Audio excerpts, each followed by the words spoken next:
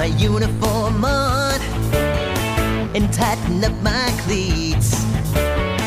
My glove is oiled and ready.